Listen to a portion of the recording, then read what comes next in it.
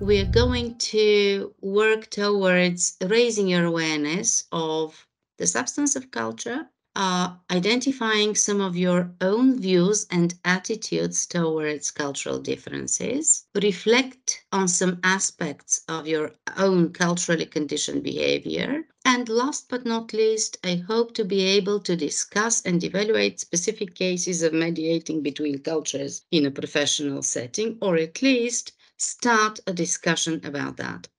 So I promise that there is a question for you, colleagues. Now, can you look at the slide?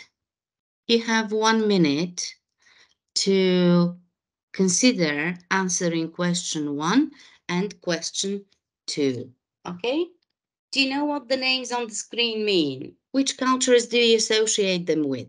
Are there any variants of these names in other cultures that you know of? Who would like to share? I can start. Okay. Uh, I associate the first one, fleur, with French. I think it means flower. And, okay, um, I, I agree with you. Uh, where are you so. from? I'm I'm in Italy right now. I'm from the University of Trieste, and uh, so in Italy it would be Fiore, and it's also a name in Italian. Okay, John, good. I associate with an uh, Anglo-Saxon world, be it British, Australian, or American. I, am not sure, but it could be anywhere, like South Africa, even. Okay. And uh, as I guess it was one of the four. Uh, um, I can't remember Apostles? now. The name, evangelists. Yeah. Uh, Alexander, I associate with Germany for some reason, and uh, the only person I can think of is Alexander the Great, but I wouldn't know what it means. And the last doesn't one come from was, Germany, definitely. Yeah. Uh huh. Uh-huh. And the last one, maybe I'm not. I don't know any Eastern European language aside from Russian, but it doesn't look like Russian. Uh, so I think this might be, I don't know, Polish or one of the. I have no idea. I would be guessing completely here. Okay, thank you. So can mm-hmm. we invite somebody else? Mm-hmm. Another colleague to comment, probably about the last name. So while you're still thinking, I can also share that Fleur, uh, meaning flower, has a uh, has a corresponding version in Bulgarian. Although you you won't be able to to tell because in Bulgarian we say цвета, цветелина, цветанка. So these are versions of the name, the woman's name that means a flower. And again, uh, the, the, idea is uh, to give such a name to a girl uh, in order to make sure she's beautiful. You know, this is a, a wish that we encode in this name.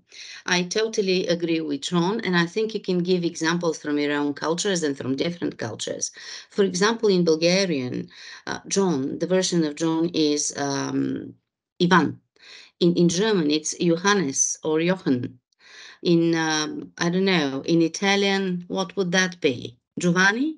Yeah, Giovanni. Am I close? Am I close? Yeah. Mm-hmm. Uh, and so on and so forth. Alexander the Great actually comes from our shared, uh, I mean, culturally shared roots, because Alexander the Great was um, the most famous king of uh, Macedonia um, in, in, the, in, in antiquity.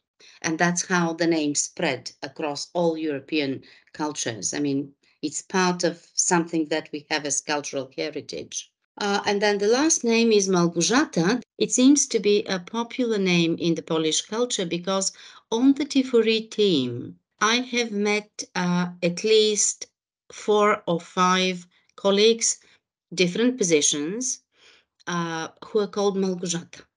Okay, if there are no Polish colleagues, can you guess what it means? Does it does it remind you of something in your own language? In Italian, mal has a negative connotation. So it's so... not likely, yeah. People usually don't give uh, negative uh, meaning to names because when we give a name to somebody, we usually have good feelings, good wishes for this person. Mm-hmm. Uh, okay, okay, but that's a possible approach. Well, uh, I'll, I'll tell you that uh, it's in Bulgarian, we have it, it's Margarita. And actually, in, in the modern Bulgarian culture, Margarita is associated with the flower daisy because that's the name of the flower. But in the old days, when Bulgarian and Polish were more similar because they are both Slavic languages belonging to different subfamilies, of course, but at a certain point there was more, you know, they were closer. And uh, Margarit was a name, uh, was a word which meant uh, pearls. So again, there's a, you know, uh, the idea is there, but the words are different in different languages because we have the name Pearl in the Anglo-Saxon tradition, right? Meaning that this woman is a special one. She's like a, you know, something very rare, something very pure and beautiful. Your turn. Can you present yourself, guys? What can you tell us about yourself? Uh, what's your name? Do you know what your name means? For example, I was named after my grandfathers. Both of my grandfathers were called Nicola, and Nicola is a male name, and in Bulgarian, in the, the female version is Nikolina.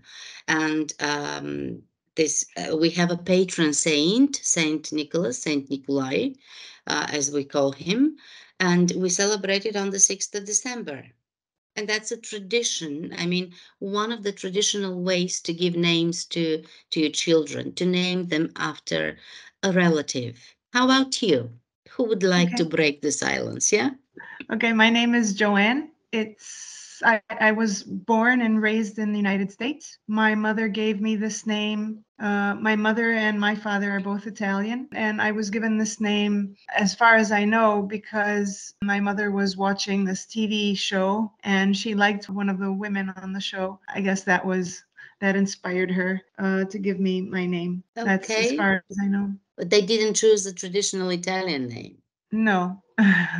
yeah. Um, okay. And, and what is your job? What is your position at the University of Trieste? I am a CEL, so-called CEL, um, a language lecturer uh, of English. Ooh. So I teach Italian students on my courses, not not only Italian students, just whatever students enroll in this university, and in the degree courses where I teach um, language skills in English. Great, great. Thank you, Joanne. Uh, okay, thank you. Can we invite somebody else? Uh, Inga, please don't don't be shy. Just just take the floor. It's very difficult for me to to uh, you know follow both. My name is connected with Scandinavian uh, deity Inga. Ah. So something related with uh, defense of that god Ingas. Yes, I read in some encyclopedias. Okay. Yes. Okay. I am librarian myself, so yeah. that's why I'm interested in some some such, such knowledge. Thank you. It's uh, wonderful to learn about that. That's another way to name your children, which I believe we share across European cultures, to associate the name with a certain deity, as you said in your case, or a patron saint from, from the Christian tradition, but not all the names that are connected with deities comes come from the Christian traditions. Uh, tradition, sorry, some of them come from other uh, traditions that are associated with our cultural heritage. And you just demonstrated how complex our shared heritage actually is. Thank you. I can see the Wood um, uh, uh, raising a hand. Can you introduce yourself, please? Yeah, hello. Hello. Uh, I am connecting from Turkey, Antalya City and uh, Akdeniz University. Uh, my name is Davut. Uh, it's, I think, Arabian name, and it is the name of the uh, big king Davut, and uh, means, I think, that a person who have good voice. Would be yeah, it's it means okay. a good good voice. I think okay. it correspond to David in, in Europe, I think. This is it goes back to the to Alexander the Great. I mean, this is uh, in this way, traditional way of naming people after great leaders, people who have made, you know, who have left a trace in history, yes? Yeah. As yeah. well. Yeah, yeah okay. Yeah. Thank you. Thank you, Davut. Uh, it's very interesting that you yeah, that you are here to attend our T4E uh, webinar, which means that Transform for Europe has started attracting outside partners. Hopefully, we're going to meet somewhere uh, on other occasions as well. Thank you. Anyone yeah, else? Nice to be here. Yeah. Yeah, thank you. Anyone else? Can you, Ruta, very briefly introduce yourself? Yeah, my name is Ruta. I yeah. wrote in the chat. It's a Lithuanian name, traditional. Used to be traditional, now it's not popular. But traditional when I was born at that time. It's a name of flower. The traditional okay. Lithuanian flower. It used to it's um, in in in villages, in yards. The girls uh, used to plant it and to to show for everybody that they have this flower. It's it's okay. most important. Now it's not yeah. so important and not not uh, not popular anymore. well, uh, if, if we go back to the initial examples, uh, the name Tsvetanka is not very popular at the moment here. So modern versions of this flower association have appeared but but that's uh, again i mean we've got a point of common um, things here as well okay then uh genovaite genovaite is it is christian name genevieve in french in french mm -hmm. i mm-hmm. think it is very popular but in lithuania this name is not very popular even now as well um uh, this uh, name comes from my father. I don't know why he get me this name because uh, my father is dead, so I can't ask him why my name is yeah. Genevieve. But what does it mean? It means the gen uh, gender uh, woman. It's um, uh, how to say in English. Um, the woman of family or of uh, all gender so in my family i have four boys so usually i said that my name is genevieve the king of the family as a, a, woman okay so okay uh, good Genovaite, what is your position at the university? What I do you do? associate professor in Vytautas okay. Magnus University. Very uh, very very nice to meet you all. Uh, so uh, the next on my list is ramune. And my uh, name is traditional Lithuanian uh, name and means it is flower like camellia. Okay and what do you do at the university? I am student you're still a student and then is rebecca uh, so my name is Rebecca. Uh, I don't know where is my um, name from. I think it's um, like biblical. Okay. That's all I know. okay. Okay. Good. What is your position at the which university are you from? I'm from um, Uni University of Primorska, um, from Slovenia, and I'm an assistant. And then we've got uh, Thomas, who is our uh, host today. Okay, of course. Uh, so my name is Thomas. Uh, I'm from Lithuania. I'm working at Vytautas Magnus University. My name is origins comes from actually from my grand grandfather because his name was Thomas, or I'm not sure if it was Tom Cruise because he was very popular at the time on television. So I'm not sure. My mom tells me that it was them because of my grand grandfather, but it could be a like uh, Tom Cruise because he was very popular at the time on the TV. So you know maybe that's the case. Yeah. Okay. And we've got Vaida. My name is very Lithuanian. I think there was um, virgin that was protecting fire, so um, I got a goddess name and. Um, I kind of like that. okay, good, good. Thank you so much. We've got Aurelia who wrote in the in the chat that her name is connected with gold, and we've got Varta. Hello. Yeah, I'm Birgit. Birgit, oh, Birgit. from Austria. Uh, I'm I teach at the Triestine University, and my name Birgit is a Swedish name. My mother, I think, she gave me that name because of the opera sing, uh, singer Birgit Nilsson. I know it means something like the proud one. The proud I, one. I'm not sure. Proud, yes. Okay, it's like, we it's can, not we can, Brigitte, yeah. Brigitte, it's Birgit. it's Birgit. Yeah, yeah. Uh, thank you for correcting me. I, I noticed that when when you started speaking that I read it in the wrong way. Thank you, thank you, my dear colleagues. Uh, it's a real pleasure to have such a wonderful bunch of people coming from various cultures, and I hope this webinar will be, you know, the start of our new collaborations and meetings in the future. Because uh, talking about culture and intercultural communication is something that we can we are not going to exhaust today. We're just going to scratch the surface. It's this is inevitable actually. So i now to do a very um, simple activity to write a short definition of culture your own. What do you think is culture, in your opinion? To pick just a few keywords here that uh, to you, I think there are points of similarity in your ideas about culture. Uh, and also there are different uh, key things like uh, the fact that you associate culture with background, with language, but also with traditions, uh, and traditions are mentioned more than once in your uh, ideas. Uh, language, history, geography as well. So these are the things that people share. And the key word, again, Vaida here is a group of people.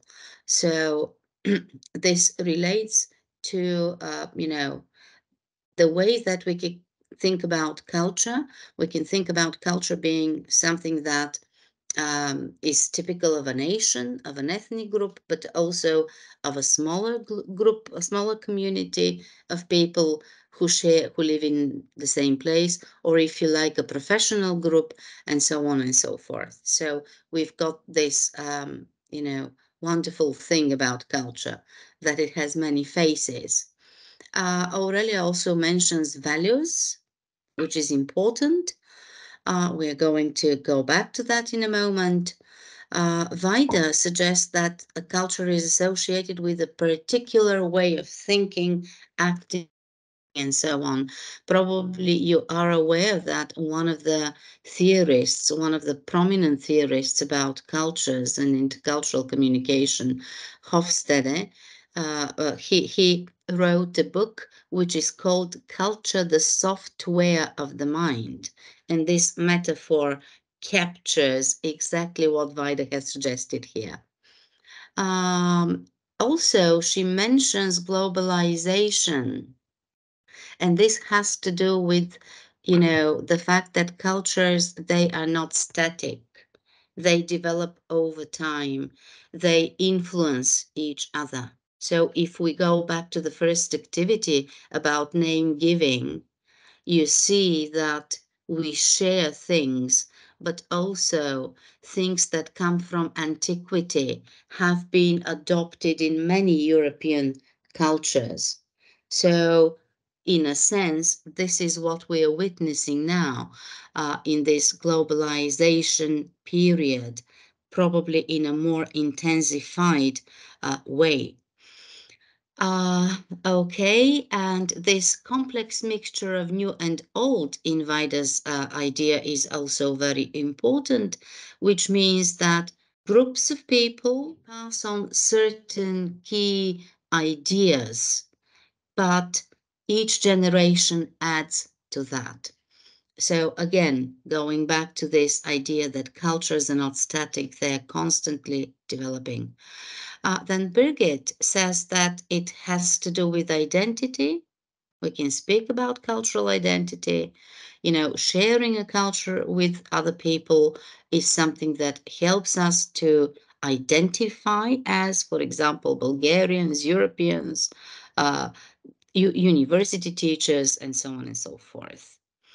And also, she, she mentions different agents in shaping these identities, like language, but also history, uh, the way society is constructed, uh, also our religious upbringing and religious background. Schooling is also a very important factor. Uh, Alessandra also uh, goes back to these ideas about values and traditions and history and literature. Good. And Davut has added that this is the social behavior of a particular group of people. Okay, so just just to, to, to note something, if we think about history, literature, the arts, and so on, this is some to as big C culture, culture written with a capital letter. And what Davut has uh, um, written here is sometimes referred to as small c culture or everyday culture.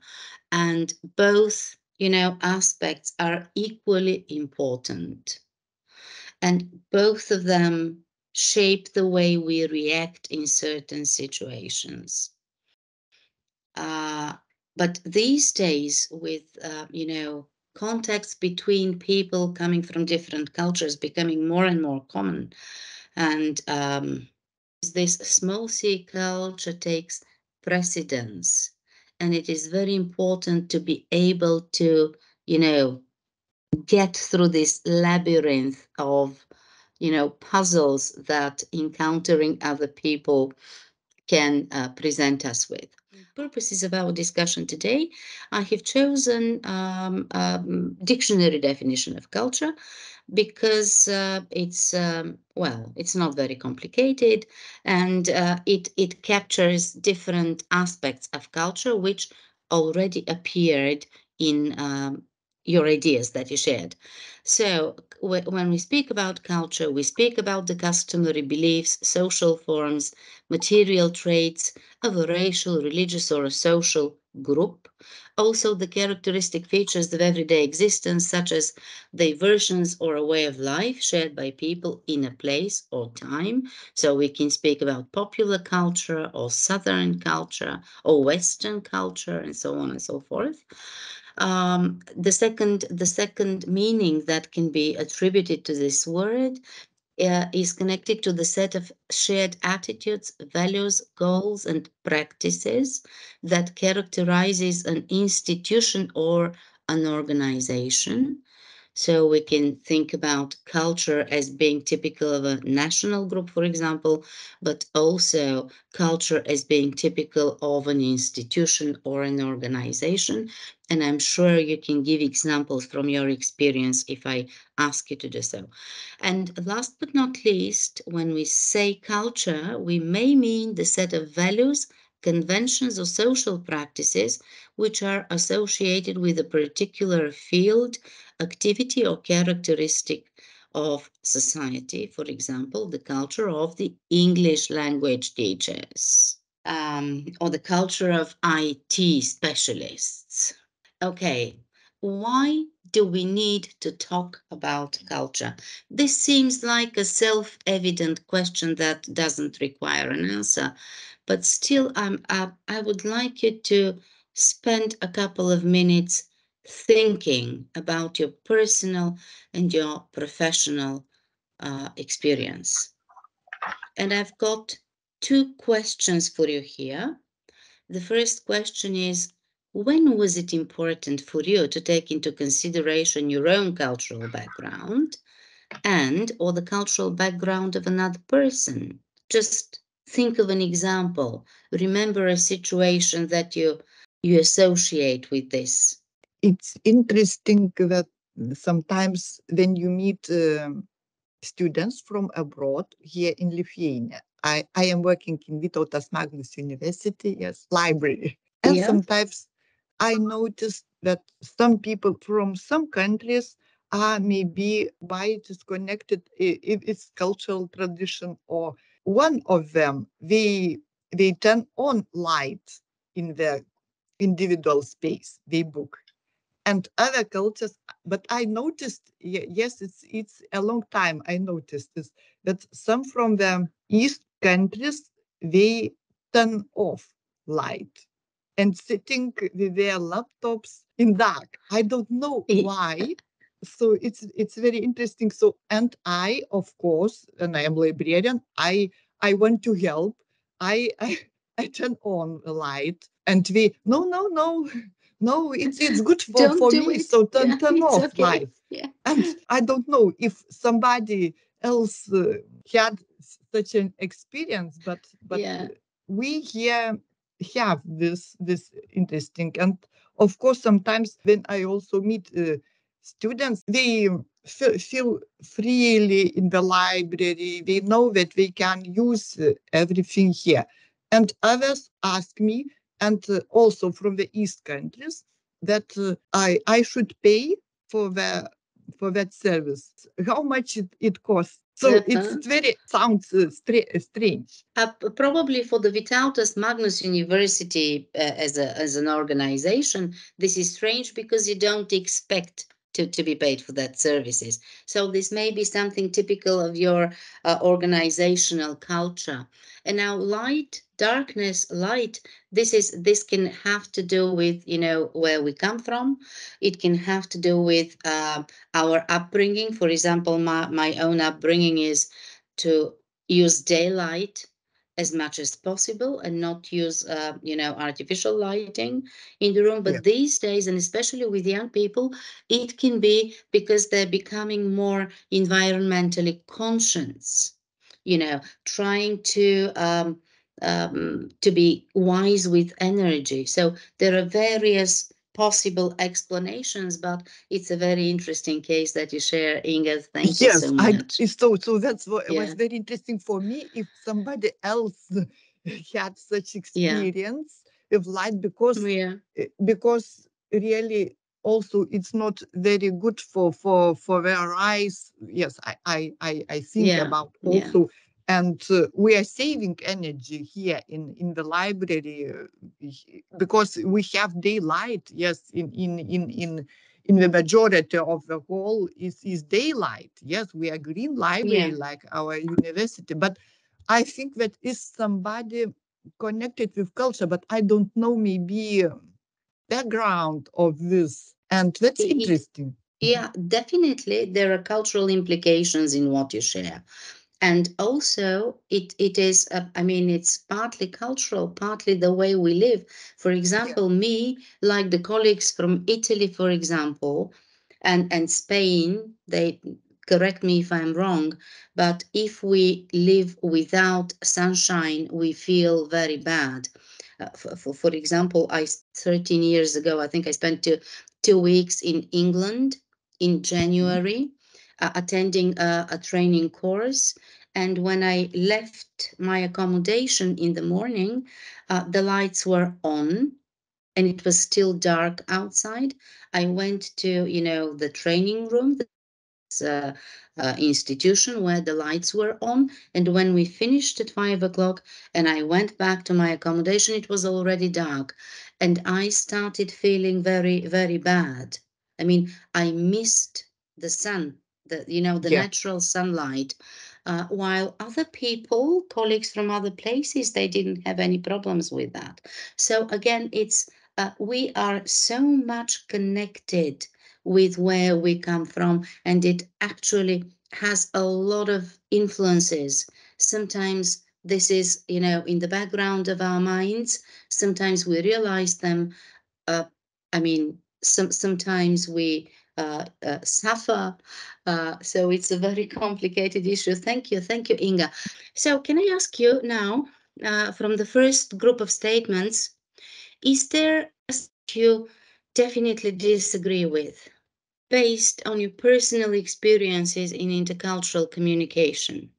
Um, I don't really, well, of course, it depends. I mean, if this is a the first time you meet this representative of another culture, I wouldn't expect him or her to start behaving like me. I mean, if I were abroad, I would try to adapt to the local way of behaving, of speaking, of being, you know, try to observe what the local conventions are and try to not stick out as so different and rude. So, but I I I would find it difficult for someone coming to my country to start behaving like me uh, because maybe people need time. So they need to uh, adapt little by little. So that's why I was saying I don't know how long I've been in a conversation okay. with this person. But uh, Okay. the one I agree with the most, I mean, okay, you asked the question, which one do I disagree with the most? So I'll stop Yeah. Thank you. Okay, but then, uh, oh, oh, no, no, no, go on. Which is the okay. one that you agree with the most? Um, I would agree with number one because I wouldn't ask questions and I wouldn't say, why are you different? Why are you behaving the way you do? But I would try and understand where that person comes from, what cultural maybe uh, background they have, and I would try and continue in the interaction. I wouldn't give up because, as we mentioned before, culture we all have we all come from different countries. We we have a different cultural background, so I can't expect someone to be like me. And I I, I understand they might, especially you know, if people don't travel often. Uh, I see myself traveling in other countries and trying to adapt to the local to the local conventions. I don't know, for example. Okay, yeah. Mm. Yeah. So I would agree with number one and try to be a model for that person to help them to help them. But I think it would be a more constructive approach. I think the others are a bit more destructive, but of course these are just statements, so it depends on the broader context. Yeah, yeah, of course, of course. Thank you. Anyone You're else that would like to comment on the first set of statements? I also agree with number one because Okay. they are not me really, and because now I have some experience, and uh, because um, we have a lot of different students at university, and I like communicate, so I always search the way to interact to find out why he feels differently here uh, why he behaves differently and to help him because this is different space for for for for that person. He comes also Okay. and don't know every so first of all i should help him. So i i agree with number One. Okay. So um, I would like to uh, round off this first part by saying that you have picked out, yes, what seems to be the constructive way to behave in an intercultural communication situation. Uh, so it seems that you are aware of the fact that our own cultural background gives us a bias, a certain bias. We can't avoid it, but it seems here in the group we share uh, an approach that is constructive in the sense that we try not to stick to what we know, to what we accept as normal, and try to help. So I'm going to use this expression that you that you mentioned. Try to be a model for this other person. Try to you know lead them along the way to find out how things happen here because they may be different because somebody is from another country but they may be different because they come from another institution. Now um, probably those of you who have already visited other T4E um, universities you've noticed certain differences in uh, in the way that we work. I recently had this conversation with some German colleagues, not from Saarbrücken, but from um, somewhere else, from Berlin, uh, who expected me to resolve a situation for them, but I'm just, uh, you know, a lecturer, and I have to take permission from somebody who deals with that. For example, the international uh, office people or the vice rector that is responsible for international um, uh, activities. And this, it, it does not depend on me. And then we have a certain internal procedure. Uh, and I had, I felt bad because I somehow had to convince them that I'm not, I'm not being obstructive but just this is the way things should be done at our university and i cannot you know jump this procedure. I have to follow i'm sure all of you have been in similar situations. And probably most of you would say yeah number one is seems to be the most constructive way to handle situations like that. Uh, sometimes we can predict glitches in the communication process by finding out about the some peculiarities of the culture that a person comes from. But uh, more often than not these you know situations they they they just happen uh, they appear on the spur of the moment and uh, we have to you know hold back our own judgment and think twice about our reactions so that's uh, somehow i you know transferred from the personal to the professional sorry for that uh, but now let's take a look at, at the second group of statements. So which ones do you think you most agree with and which ones do you think you most disagree with? I think uh, I am going to try to comment a little bit. Uh, okay. um, I think uh, when I'm reading that, I immediately think uh, very multicultural responses. Um, I think I'm very fortunate that I am teaching English and uh, I have a lot of international students. So we typically start um, with the English way of thinking, which is also very different from the Lithuanian way of thinking. And I think we try to establish what's typical for English way and uh, that uh, makes the environment very inclusive because then everybody does something that's not their natural being. uh, I think some people really like to listen more, some really like to provide very honest answers. Um, and I think culturally, definitely there are quite uh, quite a lot of differences. But then I say, well, in England, because we are learning this tradition, this is how people should do it. So then it sort of creates this very common background that we are all different and we are trying to adapt to some kind of a cultural um, way of of uh, interacting.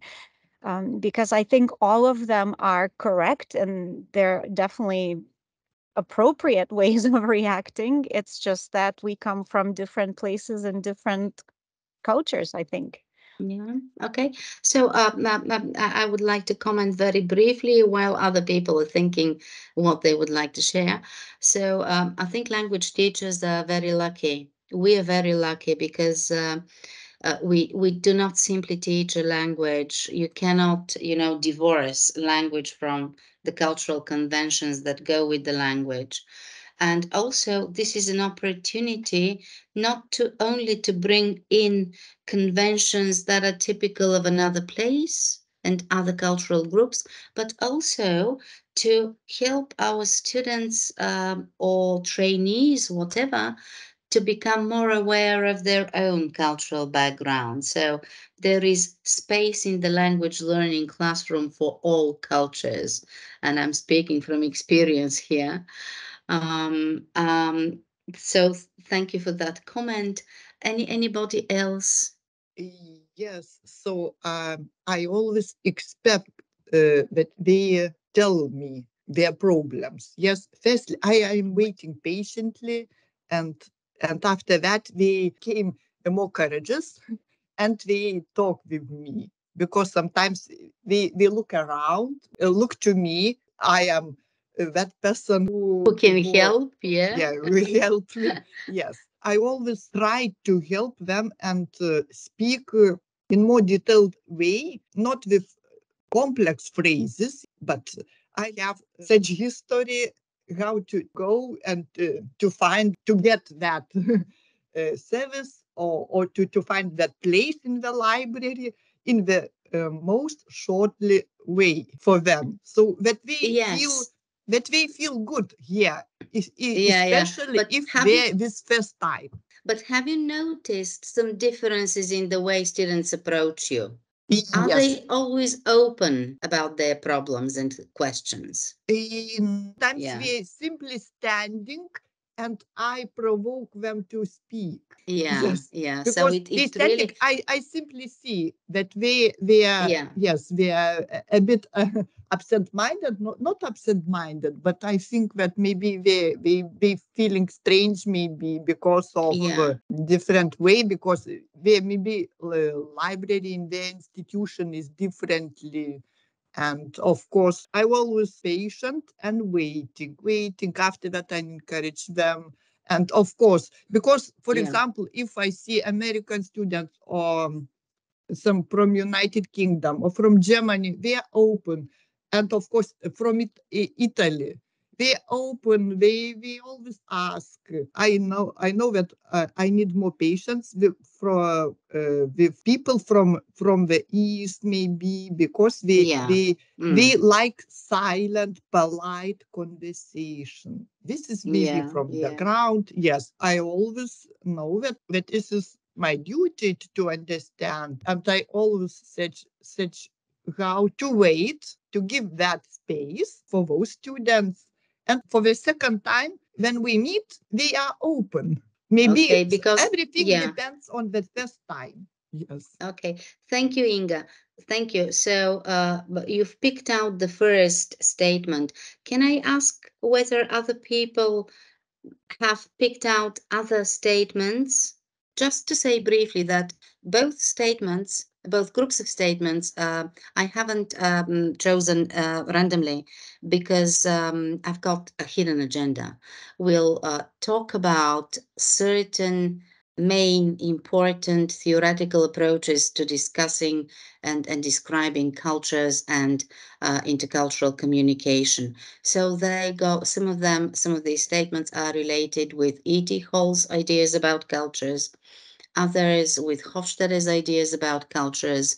A third group of them are related to a more recently published uh, very interesting book, by the way, called The Culture Map by Erin Meyers. I've mentioned all these authors uh, here at, at the end of the um, uh, of the presentation. So if you're interested, you can uh, pursue further and, and read for yourselves. Uh, but yeah, how we react in uh, professional uh, um, situations also depends on both our personal and our um, organizational culture, and there may be significant differences. And it's important now we, we, we share this identity, we identify as Transform4Europe universities, but also there are differences from one T4E university to another in the way that it is um, you know normal to go about things. And also we all of us invite uh, international students or erasmus exchange students coming from various places. And when they come and visit us they are also part of the T4E alliance which makes this mix of different backgrounds even more uh, you know complicated uh, sometimes richer by all means i see this as a very positive thing. But also we have to find our way to deal with them. So uh, let me go back to my presentation now and ask you what do you think are the elements of culture? We already mentioned some of them like values traditions literature. What else? Can you write some keywords in the chat now we already have values, literature, traditions, speech, language, probably. What else would you like to add? Food, great. Conventions, manners, good. Religion, excellent. Architecture, perfect. Beliefs, great. I'm going to add dress codes, social behavior, art. Uh, I would like to introduce this very popular way of describing cultures metaphorically and this metaphor is usually referred to the as the iceberg of culture. Uh, why is culture likened to an iceberg? I think this picture demonstrates it. Uh, because there are certain elements which are there which shape the way a culture functions but they're not visible uh, there is, they are below the waterline if we think about the iceberg. There are others which are very easy to see. For example, I'll take your example with um, teaching students uh, elements of uh, British culture. Like uh, if you go to London, red buses, um, post stands, the um, you know the red double deckers, uh, black taxis they are very easy to spot. You see them around when, when you visit London, for example. Uh, but other things like, you know, why people would avoid mentioning certain words in certain situations. These are things that uh, we need more knowledge about. They're not easy to spot straight away. And of course, there are certain elements of culture which are on the waterline. So they are between what is hidden and what is very easy to see. Now, I uh, I would like you to think while I'm, I'm going to talk a little bit, um, I would like you to think where would you place the elements of culture you shared in the chat? You remember food, traditions, uh, conventions, religion, the arts. Where do you think that they would go? Below the waterline or above the waterline? For example, where would you put beliefs? Beliefs in terms of religion or beliefs in terms of one's own personal beliefs? Um, uh, beliefs, it, it, it's a very general term, I agree. It yeah. could be connected with religion, but it also could be connected with uh, what is the correct way in, uh, you know, um, behaving in a certain situation. Yes. For example, treating older people or, uh, you know, mentoring. Yeah. Mm-hmm. Or religion. religion. Maybe Right. If it were religion, maybe I would place it below the level of water, underwater, because that's okay. something that people are not willing to change. If that's if I understood the question well. Yeah, yeah, Otherwise, yeah. Other okay. other mm-hmm. beliefs in terms of conventions, I would put that maybe above, but I'm not really sure because. Yeah, it's not an easy question. I no, agree. it's a very interesting yeah. question. Very yeah, interesting because question. if you think about religion, uh, for some people who have strong religious beliefs, and a strong identification with a certain religion, this is definitely below the waterline because it guides their behavior the way they go through life. But also we can we can argue that this can go above the waterline because when we when we go to a church for example or to a mosque there are certain conventions which we follow which are very easy to see. Definitely. If you come to a, an Orthodox Christian church, uh, you shouldn't go, you know, in bare bare arms. You, you you'd better have, you know, a blouse with sleeves, you know, even if it's the summer, for example. If you if you go to a mosque, you have to take your shoes off, and this is something that we can see. So we can consider placing this in both ways. So it's not an easy question, guys. Somebody wrote in the chat. Can I take a look what was written in the chat? Yeah, beliefs under trust, says Fabrizio. Okay, so uh, I don't want to torture you. Of course, you'll continue thinking about these things. So generally, uh, the elements that we would very easily put above the waterline, they are considered to be the objective elements of a culture. For example, whether we eat using chopsticks or a fork and knife. Uh, how many forks and knives are we going to use um, in a dinner and so on and so forth. You can see, hear, smell, and touch these things. They have to do with food, with dress, with behavior, the buildings around us, with folk music and, and certain rituals which we can observe. They seem to be easy to explain, and some of them change very, very easily. Somebody wrote in the chat, let me see what this is. Philosophy under, okay, fair enough, yeah, all right. Uh, so these things that we put, the objective elements of culture that we would, you know, graphically put above the waterline, they are considered the easiest to change. But what happens with the elements below the waterline. These are the so-called subjective elements of culture. We are often unaware of them and their role. They shape the way we behave, but we it's not necessary for you to be, you know, aware of, of these elements in your own culture even. They're just in your software, uh, if I may use this other metaphor that we started with but we can judge about these elements you know, the hidden ones, on the basis of what we see through patterns of behavior, through different notions of what is good, what is right, what is wrong. However, when these hidden elements are violated, challenged, uh, usually this is deep emotions. It touches people on a very deep psychological personal level. And this may be connected with difficult situations also. So um, I'm going to show, um, you know, a way to put things on, on the iceberg of culture. Things like food, music, dress, anthem, everyday object, artifacts, uh, greeting people, for example. Um, we mentioned architecture, we mentioned literature. These are things that we can see. These are things that, that we can touch uh, and interpret uh, if necessary, if we think about literature, for example, or architecture.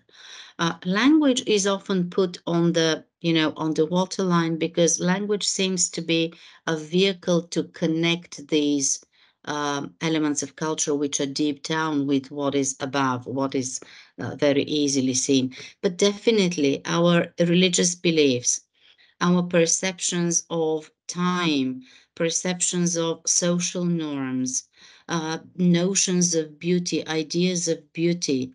Now, I mean, there are very striking uh, of what is considered beautiful in a, a African in an African tribe uh, and, and what is considered beautiful now. Although this changes, when I when I was young, the culture I I grew in, and of course I grew under socialist time. So partly this was because of this historical period in our development. But uh, you know, uh, tattoos were not considered something good, while at the moment, more and more people are wearing tattoos, and this is something which is uh, considered nice. You can hear young people when they meet saying, Oh, I like your ink. It was unthinkable when I was young.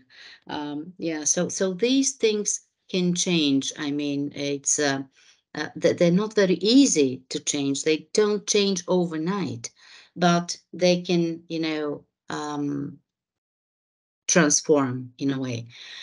Uh, also below the waterline are our rules of polite behavior, ideas of who we are, ideas of who the others are, attitudes to age, our prejudices, and so on and so forth. Now, I've got a very short question to you. Now, imagine a visitor to your culture. Like Inga gave examples with the students um, who, who visit Now, I mean, is there something that they will notice immediately about your own culture? For example, I think with Davut we share that, uh, the way we uh, signal yes and no with our heads. So this means uh-huh, which is yes, and this means no, which is totally the other way around in Western cultures. And I still uh, hear people coming from Western cultures, I mean, visiting Bulgaria, saying, Are you saying yes or no? I'm confused. Because we don't always uh, accommodate the way we nod and shake our heads. Sometimes we do it instinctively in the way that is accepted in our culture, like, uh huh, oh, no, no, no, no, which is the other way around. Now, can you think about your own culture? Are there similar examples? In Italy, for example, uh, maybe not so much after COVID, but young students at the university on campus, maybe they, you know, the young female students, they'll kiss each other on the cheek or just hug each other and be a bit more touchy feely.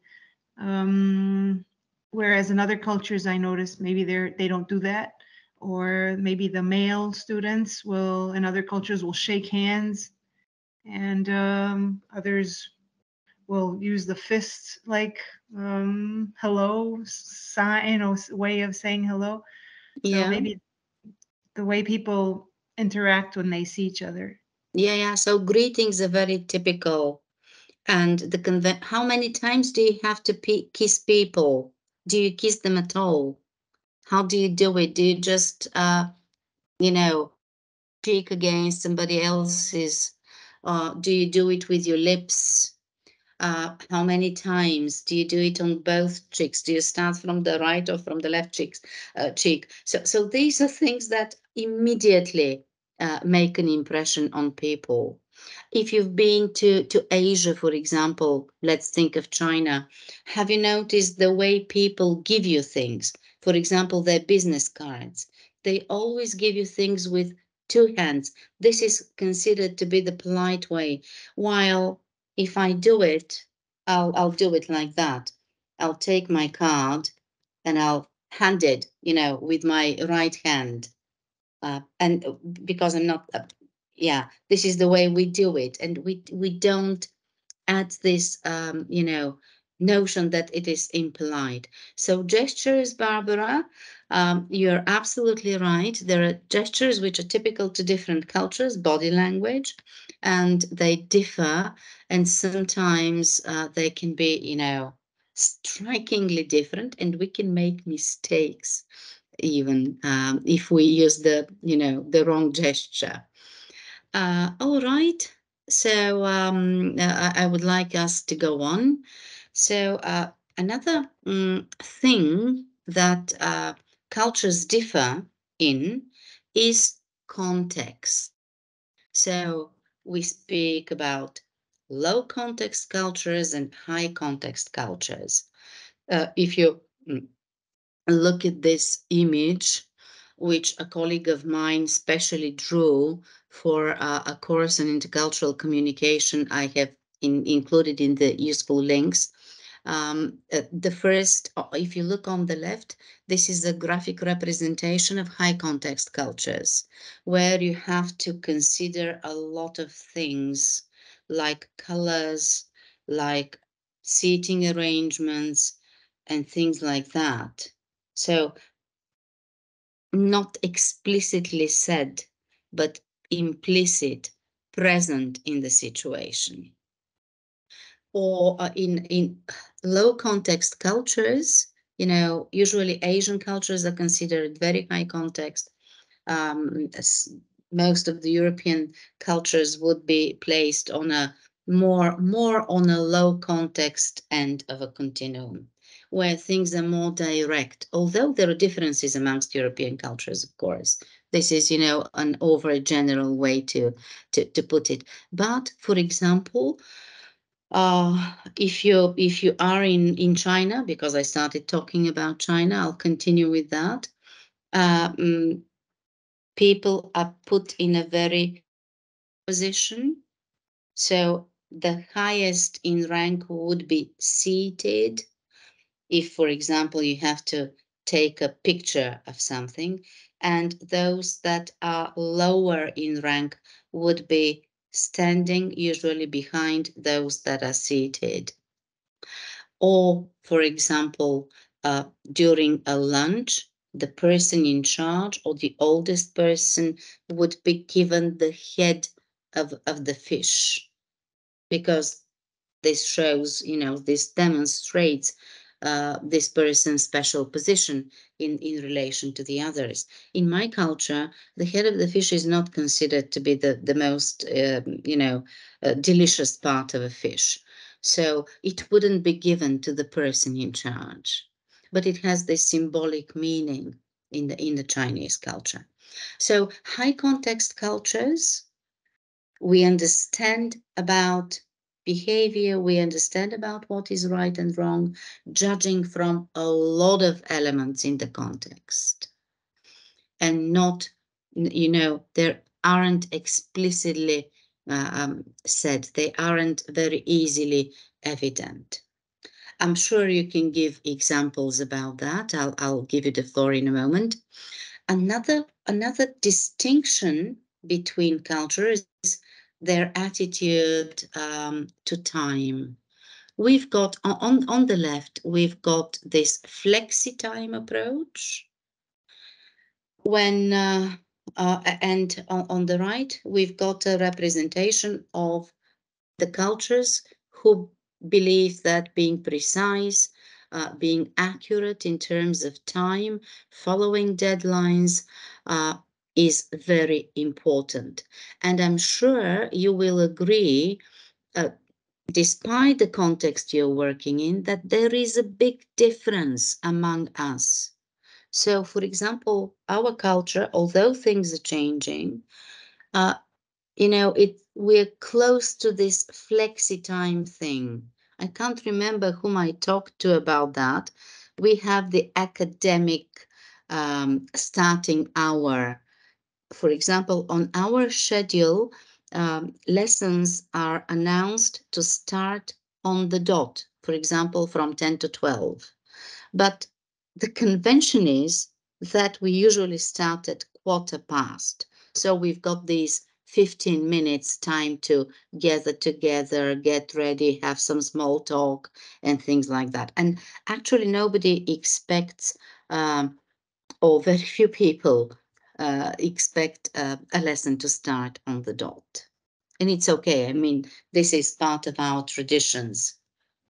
Uh, while in other cultures, if the schedule is for 12 o'clock, they expect things to start at 12 o'clock. And if it doesn't happen, it's considered a waste of time. Submitting assignments, you can uh, a student can, can get a poor mark if they do not submit the assignment on time. It won't be considered. So we have to make sure we understand these differences among us again. Um, and, and the last one, of these uh, specifics concerns our attitude to space. How close do we do we stand in um, um, to, to, to each other in a crowd? Probably you've noticed that Southern cultures um, have uh, we have a tendency to stand closer to each other. Uh, uh, while in other cultures, they would, uh, if you talk to somebody, that person would be, for example, in, in the UK, they would rather tend to be at an arm's length uh, from you. Um, so, yeah. differences here as well. And if you go too close to somebody, who belongs to a you know um, to a culture that observes a bigger space, uh, then they they may consider you rude, you know, violating their personal space even. Uh, but but it, this is also, of course, there may be personal differences, but more often than not, this is encoded in the culture that we uh, that we have uh, that we share. Okay, so um, now I'm, I'm going to ask you to share ideas about these questions here. You just saw that Birgit has written uh, in, the chat. She she uh, answered the first question. How do you feel comfortable when greeting people? She says at an arm's length.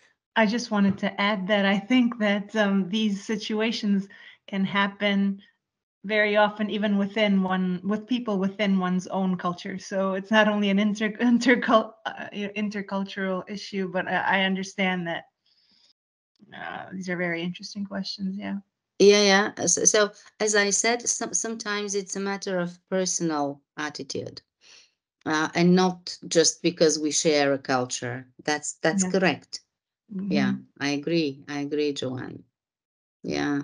Uh, so uh, uh, Birgit also says that um, with uh, uh, lateness, she doesn't have a problem.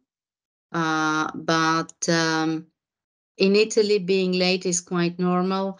Oh, great to hear that. So we share that. Uh, and, and, I know that, for example, in certain parts of Germany, that would be a problem. In the UK, that would be a problem uh, if you don't follow the convention strictly. I can agree also because I am by myself and only in Italy I feel happy because Uh, nobody uh, judges you haven't me. you haven't visited uh, Bulgaria. So if you visit Bulgaria, you will feel happy, I promise. In terms Yeah. of being So punctual, I yeah. should visit also, yeah. yeah, Because you yes, should come. Yeah, so there are these differences um, in uh, you know in conventions.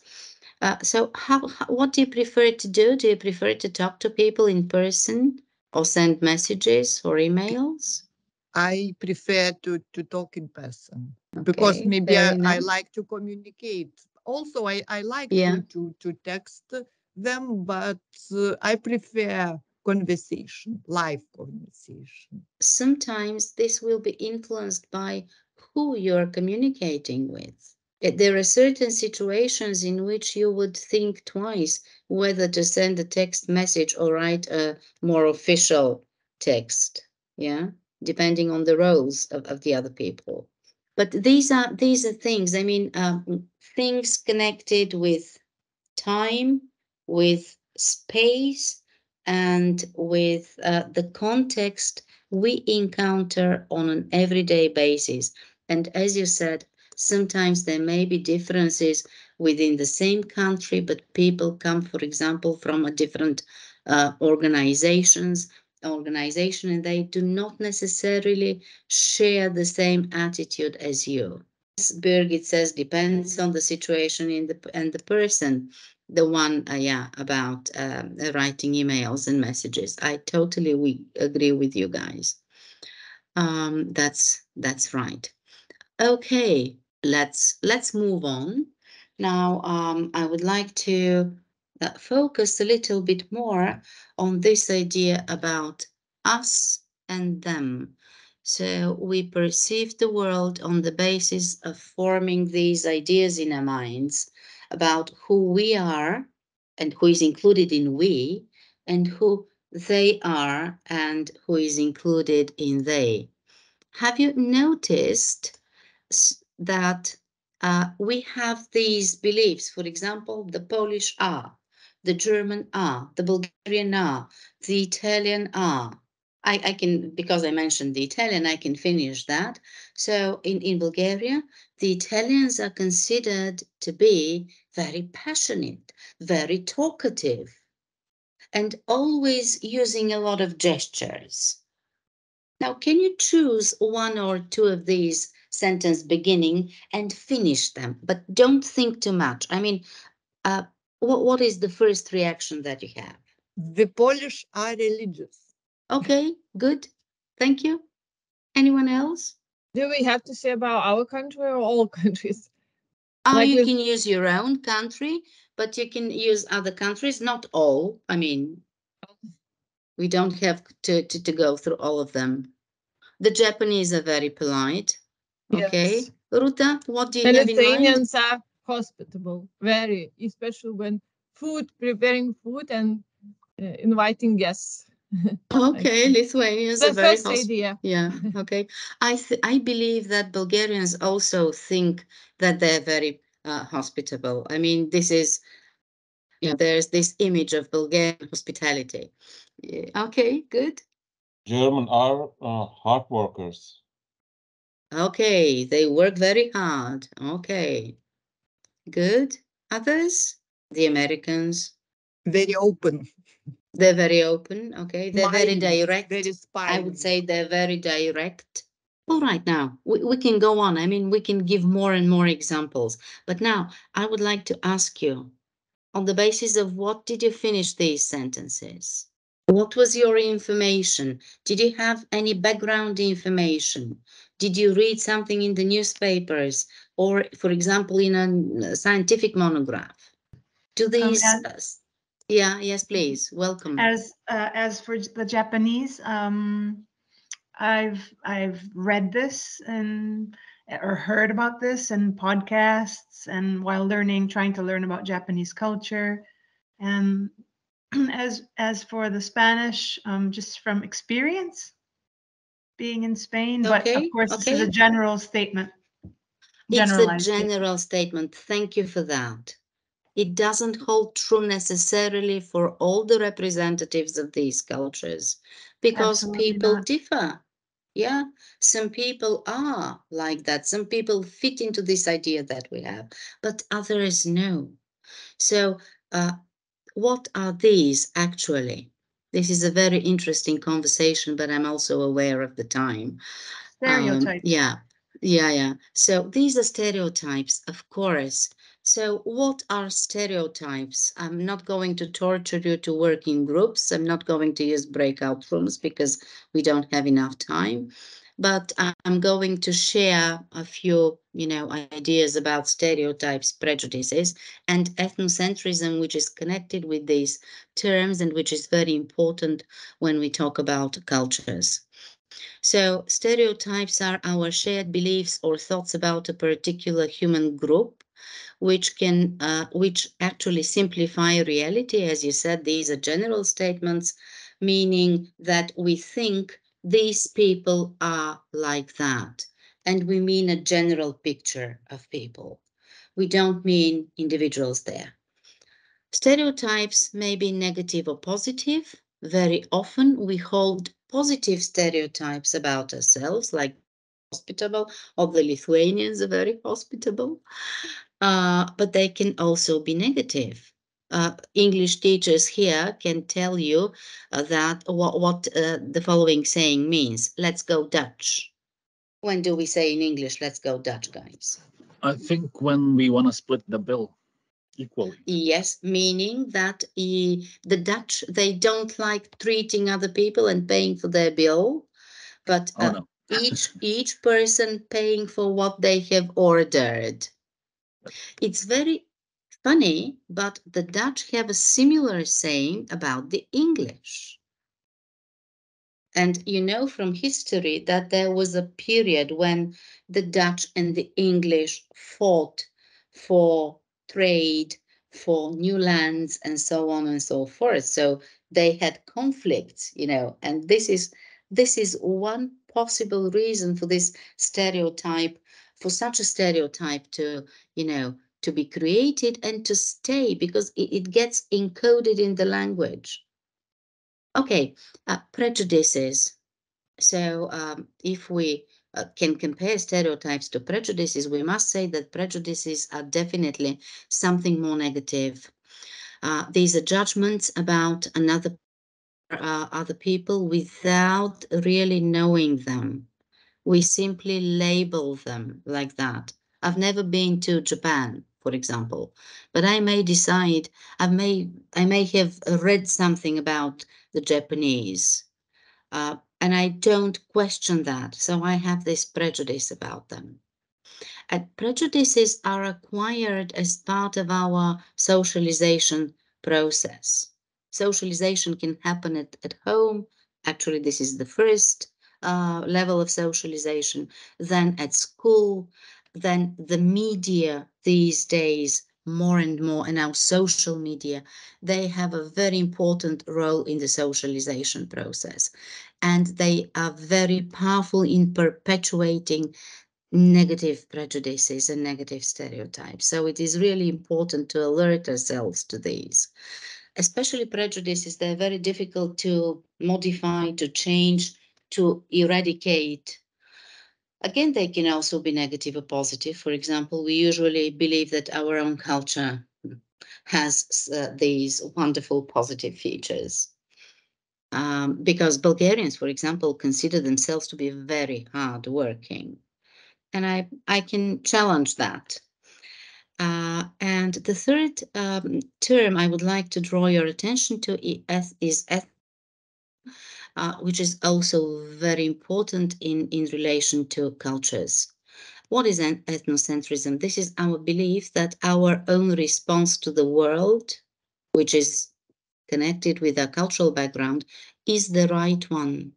And other people's, uh, you know, behavior, ideas, they are some, there's something wrong with them.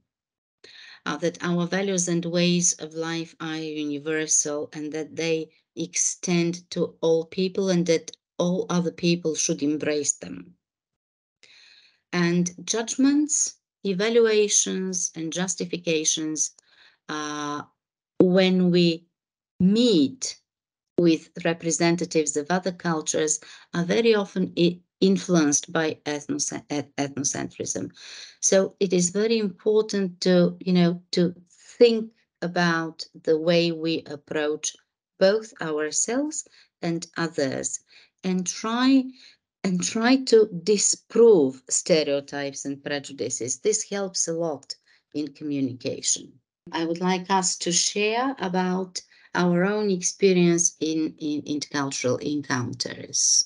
Ever been in a situation in which someone else treated you on the basis of their stereotypes and prejudices about your own culture? And I, I can see I made a mistake in there because it should be there with E I R. Sorry for that. Can you remember such a situation? What was said or done? How did you feel? How did the other person feel? Well, I have been in Asia. It's very simple, actually. Uh, example, but uh, when you go to Asia, most of the time they when they serve, serve food, you know, they don't have like uh, normal tools for eating us for like normal tools for us. They just have chopsticks, you know. Uh, but mm-hmm. when you like uh, you arrive from Europe uh, to Asia, they just uh, instantly go find a fork and a knife for you. They don't even ask you because they usually just presume that you don't know how to use the chopsticks or just know they just bring you the normal tools that we use in Europe. That's not like a very serious thing, but you know they pre- pretty much assume that you don't know how to use the chopsticks properly, so they just bring you the tools. You know. Yeah. Okay. So you consider this a positive or a negative thing? I don't know, not sure, but they definitely they see your face that they make, make the assumption. So I guess there's nothing negative about it, but you know, it's just yeah. they starting kind of judging you because the way you look when they they see you not yeah. native, so they just pretty much okay. take care of. It. Okay. Okay, point taken. Yeah, yeah. Now I'm, I'm I've been thinking whether I can share an example of my own, and uh, one example with which comes to my mind. Probably I've shared it with other people on uh, uh, other occasions is uh, we had this project and I think it's relevant to our experience being T4E members. Uh, on a project some years ago, we worked with some British people, uh, Italian people, Spanish people, Bulgarian people, and not not everybody who is not uh, from England is an English language teacher and is very good at the language. Uh, but somehow our British partners expected that language proficiency, high level of, of language proficiency, uh, to be displayed in, in our communications. And I have this colleague uh, who, who is very active uh, she's also now the president of the Bulgarian History Teachers Associations, but she hasn't studied English formally. She picked it up in the course of working on projects and meetings, and uh, she doesn't use these very subtle and complicated English ways of demonstrating politeness. Uh, because the Bulgarian language doesn't have them, these grammatical means of politeness. We use you know, certain lexical markers, like we have this polite form of, uh, of addressing another person in the plural um, uh, or using certain words to mark politeness uh, rather than, you know, these complicated grammar. And I, I had to, um, I was asked by the project manager why my colleague was being rude because because of the way she spoke English you know so that was that was the difficulty you know and it had to be it had to be resolved. Somehow it was expected that everybody would be able to use um, english at a very high level although the project did not have to do anything with teaching english. It was and, and we had to communicate you know in order to uh, deliver certain certain products um, I'm sure you can give more examples like that. I would like you to list, I mean, make a list, each of you, please make a suggestion. There's no time to make a full list, just one suggestion about a successful strategy which you believe facilitates working on intercultural teams. And then be ready to say whether you have read about it, whether you have tried it out yourself, or you just thought of it because of the things we discussed. So the most important is to respect others and everything will be good. Uniting language without difficult words, even if they speak your language, if they don't speak your language at all, I would I would add. And the case that I shared, uh, I shared it because it's a you know it's a real life case, and these colleagues, I love them. I mean, we are on very good terms with them, and they respect us really. But that was just a particular occasion in our you know common work so these things we we that's that's why i was saying at the beginning that we have this software which is more powerful than uh the, the, than us and it although we respect others we sometimes react in a way that is disrespectful and we don't even notice that so that is the difficulty of being interculturally competent. Although you are prepared, you know. Um, then uh, the second uh, the second uh, suggestion um, just came to my mind, uh, but um, I mean um, it's prompted uh, by some other experience. But I, I think that uh, share this and um, you know start a practice uh, in the Transform for Europe Alliance that we need a list of uh, useful advice, something like a, a, a cultural survival kit uh, to give academics or students or staff before they come to us to help them get to know a little bit more about the institutional culture uh, and the national culture, not just the national, but also how things are done in our institution. And I think that that is going to be very useful. Uh, okay, then we have keep an open mind, build trust, listen actively, very good, be patient, show respect for cultural practices and beliefs. Yeah. Or if sometimes we make, you know, a mistake, uh, there's no harm in um, asking, you know, to be excused or saying, okay, I got it wrong, but I think I should have done that instead of that, and so on. So be open. Yeah, thank you very much for that. Uh, there's another practical suggestion here of implementing a getting to know you game or activity at the start of a session or a teamwork project with questions or prompts for each member to answer or provide input for. A great idea. And I can give you an example here from Saarbrücken. Uh, on the first day of the T4E week, before the opening, uh, a colleague here from Saarbrücken had um, prepared a, a, seminar on intercultural awareness raising for the students who come from other universities uh, to help them get to know each other and learn a little bit more about the local culture, which was, I think, a very good idea, although I couldn't mm, visit it because I was traveling on Monday. Got a long story short, there is a file which is called um, some useful links and I would like to explain why I have chosen these useful links. Um, the um, Sofia University is a bridgehead for the EURAXESS network uh, in our country and uh, our colleagues uh, from, from the office are very active in working with researchers and uh, several years ago, we were responsible for developing a tool which is called Intercultural Assistant. And it is um, accessible on, on the web, on the EURAXESS portal.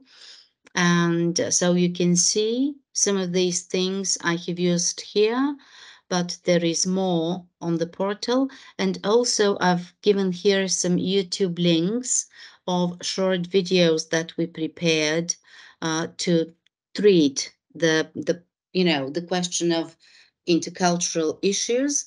Some of them were meant for staff members, others were meant for researchers, but I think both, you can look at both. And probably you will find it very interesting to watch the testimonials. Uh, we, we interviewed uh, incoming researchers from different cultures and they shared what they have found difficult when, um, you know, coming to Europe because all three came from these countries.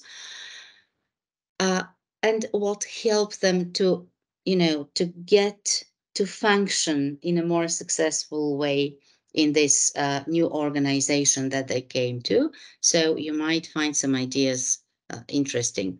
And the other thing I would like to share with you is the, the an outcome from a project which is still going on. It is finishing this year. It's called UniWellis, uh, called Supporting Internationalization of Higher Education through Professionalizing Services for Mobile Academic Staff. You can read more about it on the link, of course, but something that I would like to recommend, this is the UniWellis Practice Explorer.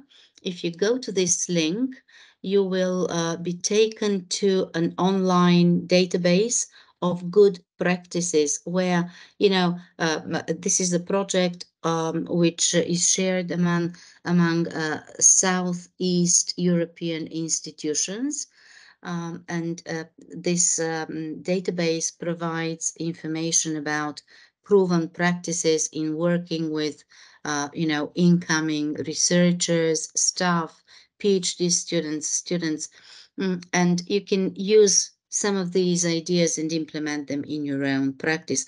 Or you can also suggest some practice of your own.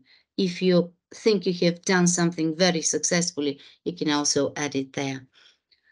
Uh, last but not least, this is the list of um, sources I used to prepare this presentation. Uh, of course, there is much more to add to this list. Uh, but I didn't mean to prepare a bibliography on the topic because we, you know, the main reasons to hold the webinar were practical, raising awareness. Hope I have been able to, you know, um, get your curiosity uh, and also to uh, start you on reflecting about your own practices, your own beliefs, and uh, that meet next time. Probably with some of you will meet face to face, with others online, but that we can continue discussing this uh, fascinating question.